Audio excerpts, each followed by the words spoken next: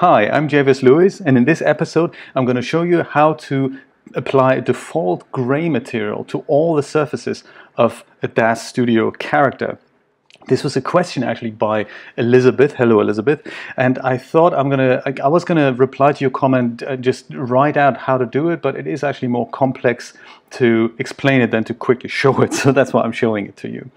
So uh, i have got DAZ Studio 4.10 open already on a Mac. And what we need here are two tabs that we need to have open for this to work efficiently. Uh, the first one is the Surfaces tab. I've got that open here already on the sidebar. That's the Surfaces tab.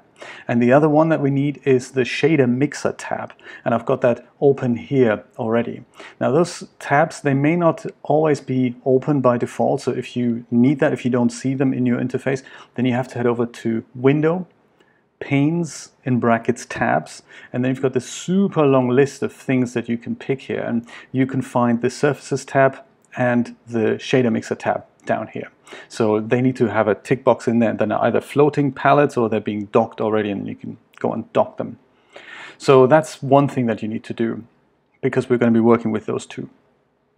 Now the, the thing that Elizabeth wanted to know is if you load a DAZ Studio character, it comes in with skin textures applied. But sometimes that is not what you want. Um, it has the skin textures are very large, and sometimes you just want just default gray material to play around with. It is also good for renders where you want to emphasize the clothing rather than anything else. You know, don't want you don't want anyone to get distracted by the skin textures. So let me show you how to do that. I'll load a random character in, so under my Smart Content tab here, I'm going to head over to Figures, and I'll see what we have here under People. I have a lot of characters, so perhaps we're going to use um, Genesis, um, some bloke here. Perhaps we're going to use, let's use Jason here, Jason with a beard. If I double click him, that's a 3D universe figure, by the way, like a Toon figure. I believe he's based on either Genesis Genesis 1 actually he's based on. But the principle is going to work with literally all the characters. So we can see he's got his uh, skin texture applied here. Hello Jason, how you doing? And um, uh, we don't really want to see that. So the the thing that makes these things visible is in fact the surfaces tab. So let's change over to that and we can see that we have our figure here. If we expand that, then we can see all these surface areas. So each surface area is defined either with a texture or with a color. So here we can see that this is the kind of the texture matte that's applied to his iris, or then we have the tongue here, that's what, that's what the tongue texture looks like, and so forth. Uh, the newer Genesis figures, they work slightly different.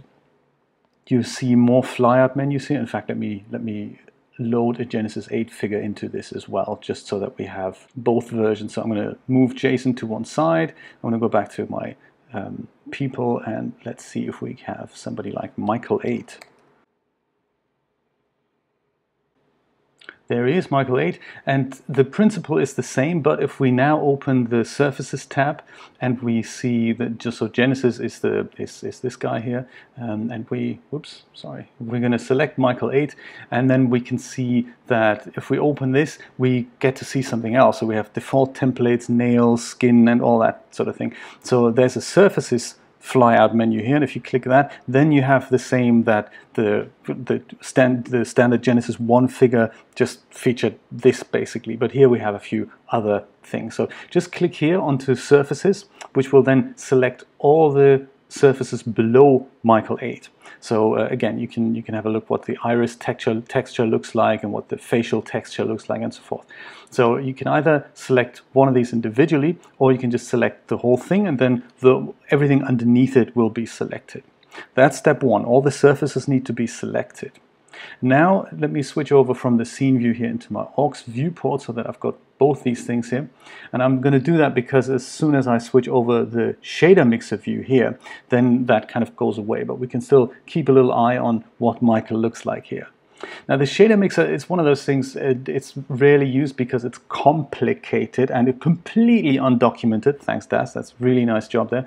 Um, but when you open it, it comes up with one default material in it, which is this one, the DS default material. And that's the kind of the gray that we can use. That if you create a primitive, for example, and a create primitive up here, then you would get a primitive that is clad in this gray material. And this is exactly that material, the DAZ default material.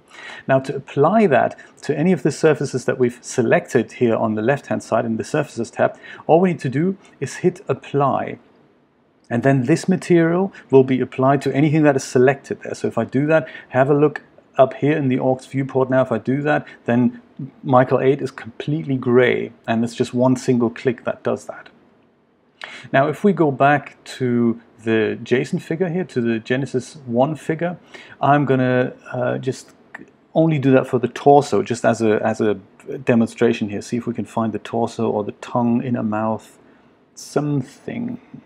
Skin torso, there we go. If I select that, just this particular type of thing, and hit apply, then you can see that just his torso is being applied, is being given that, that gray texture here, but nothing else. So this is how you can do that selectively. Or then, uh, just like before, if I just select the whole thing at the top or the surfaces tab on a, on a later Genesis figure and then hit apply, then the whole thing is going to be clad in gray. And of course that happens in the large viewport as well. And that is how you apply a gray default material to all surfaces of a character. Works also with buildings. If you need to have an untextured view of, a, of an architectural thing, then you can do that uh, by the same principle.